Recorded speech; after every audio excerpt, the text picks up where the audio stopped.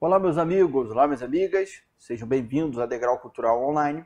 Eu estou aqui com vocês, me chamo Igor Daltro, sou professor de Direito Administrativo e venho corrigir a questão de número 41 do seu simulado para o concurso do CP2, o Colégio Pedro II. Essa questão trata sobre as disposições constitucionais da administração pública. É um tema que muitas vezes você aborda com o professor de Direito Constitucional, mas que essencialmente é do professor de Direito Administrativo. Questão de número 41 do seu simulado. Então, vamos a ela. A questão diz assim: a administração pública direta e indireta de qualquer dos poderes da União, dos estados, do DF e dos municípios obedecerá aos princípios da legalidade, pessoalidade, moralidade, publicidade e eficiência e aos demais dispositivos constitucionais da administração pública Acerca deste tema, marque a alternativa correta. A. Durante o prazo previsto no edital de convocação, aquele aprovado em concurso público de provas ou de provas e títulos, será convocado com prioridade sobre os novos concursados para assumir cargo ou emprego na carreira. A primeira pergunta aqui que naturalmente o candidato se faz é: professor, posso fazer um novo concurso tendo aprovados no anterior? E a resposta é sim, isso é possível. A Constituição, dos artigos 30, do artigo 37, incisos 1 ao 5, fala basicamente sobre a acessibilidade a cargos públicos. E um destes dispositivos fala justamente sobre a possibilidade, porque fica implícito aqui que eu posso fazer um novo concurso, mas eu tenho que dar prioridade para convocar os anteriores. Aí você vai falar assim: peraí, professor, eu vou fazer um concurso que tem, sei lá, 30 vagas. Meu concurso, salvo engano, assistente de administração, 32 vagas. Tem 32 vagas.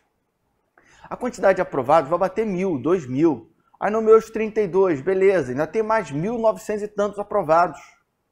Num novo concurso, então, se o Pedro II fizer um novo concurso, ele tem que fazer com mais de 1.900 e tantos é, vagas para efetivamente convocar alguém além dos que já estão aprovados no anterior. Pois é, mas eu costumo dizer que você tem que pensar nesse exemplo aqui. Olha só. Concurso para magistratura do Rio de Janeiro. 10 vagas para juiz, tá bom? Aprovados no concurso, 12. 12 aprovados, tá? 12 aprovados. Aí, obviamente, sobraram dois. Ficaram sobrando dois aprovados aqui. Se o Rio de Janeiro decidir fazer um novo concurso para 10 vagas dentro do prazo onde este concurso, esses aprovados, ainda tem a validade do concurso, ele pode fazer. A Constituição permite. Só que fala o seguinte: dessas 10 vagas, você já tira duas, porque essas duas serão destinadas a eles. Então, na verdade, esse concurso será efetivamente para oito vagas. Só que há um detalhe muito importante: faltou uma expressão aqui na tua questão. E é simulado, a gente tem que simular toda e qualquer maldade da banca. Volta aqui comigo no material que eu vou te mostrar durante o prazo improrrogável previsto no edital de convocação. A Constituição, ela fala expressamente que durante o prazo improrrogável do edital de convocação, aquele que for aprovado tem prioridade sobre os novos concursados. Olha só, galera, se eu tenho um edital de concurso com prazo de validade no edital de dois anos, que a gente sabe que é o máximo, se eu prorrogo por mais dois anos, porque é prorrogável uma única vez por igual período, esse é o período improrrogável. Esse é o período onde não pode mais prorrogar. Eu posso fazer um novo concurso nesse período? Posso. A Constituição diz que sim, mas faltou a expressão improrrogável. Eu diria que não está de todo errada essa alternativa A, mas faltou uma expressão, não faltou? Vamos passar para as outras. Eu acho que ela está errada. Vamos à alternativa B? Slide na tela. É garantido ao servidor público o direito à livre associação sindical.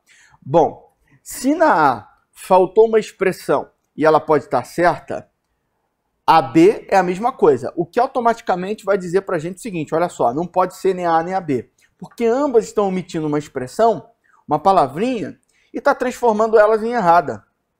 Porque se uma está certa faltando uma palavra, a outra também vai estar. Tá. Aqui, galera, a Constituição expressa, no artigo 37, inciso 6, é garantido ao servidor público civil o direito à livre associação sindical. Veja, aqui está faltando a expressão civil. Olha, ficou horrível aqui, hein? Deixa eu apagar aqui. Faltou aqui a expressão, ó, civil. Assim como aqui, durante o prazo improrrogável previsto no edital. Então você está vendo que os dois dispositivos correspondem quase à literalidade da Constituição, mas faltando uma expressão. Especificamente em relação à alternativa B, essa expressão faz também muita diferença porque militar não pode ter sindicato militar não tem sindicato. E aí fica a dica, tá, gente? Militar também não pode fazer greve, que é justamente o dispositivo na sequência do 37.6, ou seja, o 37.7. A Constituição proíbe que o militar faça greve. Então também só o servidor público civil é que tem o direito de greve. Logo, a alternativa B está errada porque falta a expressão civil. Professor, você foi cruel, hein? A intenção é essa, é preparar vocês em nível top para você passar no seu concurso. Né? O treino tem que ser duro para o jogo ser fácil. Vamos à alternativa C. Os acréscimos pecuniários percebidos por servidor público serão computados e acumulados para fins de concessão de outros acréscimos ulteriores. O que, o que são esses acréscimos pecuniários? Vem aqui comigo para você entender. É assim, ó, você lá no Pedro II, você vai ser remunerado por uma coisa chamada vencimentos que a Lei 8.112 gosta, gosta de usar a expressão remuneração. Na verdade, remuneração é uma expressão genérica e vencimentos é uma espécie. Existem várias formas de remunerar, tipo subsídio, salário, pensão, provento, são várias formas de remunerar. Mas a Lei 8.112 usa direto a expressão remuneração, que é a mesma coisa que vencimentos. Os vencimentos eles são subdivididos em duas parcelas. E por favor, não ache que duas parcelas é tipo crediário das Casas Bahia. Uma paga dia 5, outra paga dia 15. Não. É só uma subdivisão a gente tem o vencimento base, ou somente vencimento, e nós temos as vantagens pecuniárias permanentes.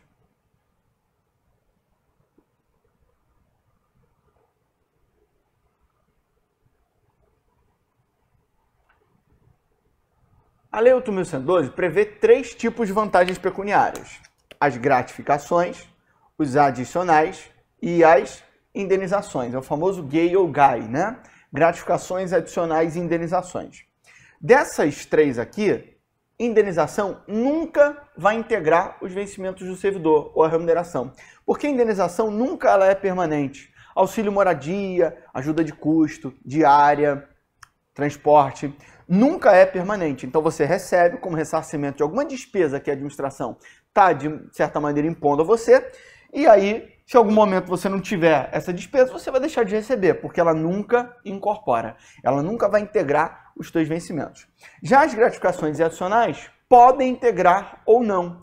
Por exemplo, é muito comum na área, por exemplo, das universidades, ou na área dos tribunais, ou na área legislativa, você receber uma gratificação daquela atividade. Por exemplo, aqui na LERJ, no Rio de Janeiro, lá no Congresso também, quem é servidor recebe gratificação por atividade legislativa. Quem é dos tribunais recebe gratificação por atividade judicial. Quem é da área de educação, muitas vezes, salvo engano, eu não, não me recordo agora, não fui ver a carreira de vocês, mas acho que vocês recebem alguma gratificação por atividade educacional. Então, a mesma lógica de raciocínio. Essas gratificações são pagas sempre. Então, elas vão fazer parte disso aqui. Mas existem gratificações que vocês recebem que não fazem necessariamente parte da tua remuneração. Por exemplo, você está lá desempenhando a tua gratificação, está desempenhando, perdão, a tua função de chefia. Se for convidado para ser o chefe do teu posto no CP2. Aceitou essa função, está recebendo uma gratificação. Essa gratificação que você recebe não é uma vantagem pecuniária permanente, então ela não faz parte dos seus vencimentos. A gente chama isso de quê? De acréscimos pecuniários.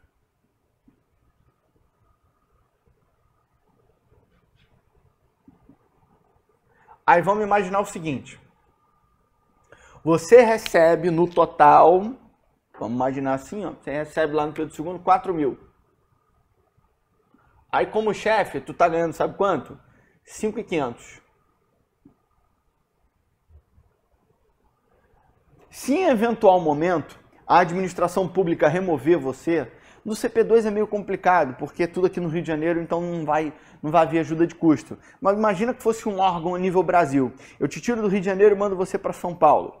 A Lei 8.112 fala que você faz jus uma ajuda de custo, que é uma indenização, que é de, no máximo, três vezes a tua remuneração. Três vezes a sua remuneração, tá? Mas veja, três vezes 4 mil ou três vezes 5.500, porque faz diferença. Então você vai ter um acréscimo pecuniário, que é essa indenização, tá bom? Que é de até três vezes a tua remuneração. Só que você ganha 4 mil não 5.500.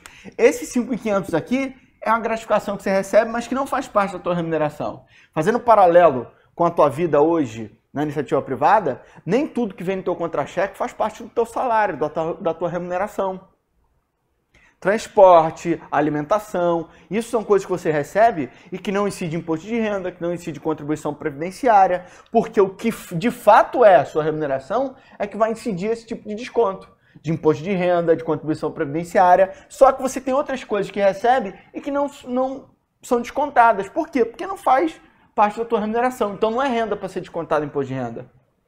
Então não é a tua remuneração para você pagar previdência em cima. Tá entendendo a lógica? Pois é. Aí a questão está dizendo, então, voltando aqui para ela, que esses acréscimos pecuniários, tipo, que eu acabei de falar, a gratificação lá de chefia, a retribuição pela função de chefia, percebidos por servidor, serão computados e acumulados para fim de concessão de acréscimos ulteriores? Aí você volta aqui comigo e mata a questão. Eu não vou tomar como referência para efeito da ajuda de custo, que é um acréscimo posterior. Eu vou tomar o 4 mil, que é o que você ganha, como referência para te pagar a indenização de ajuda de custo, que é no máximo três vezes. Então vou te pagar no máximo 12 mil, ao invés de te pagar no máximo 16.500, que seriam três vezes 5.500. Entendido? Isso aqui está na Constituição, no artigo 37, inciso 14. Logo, só pode ser a alternativa D o nosso gabarito. Vamos a ela.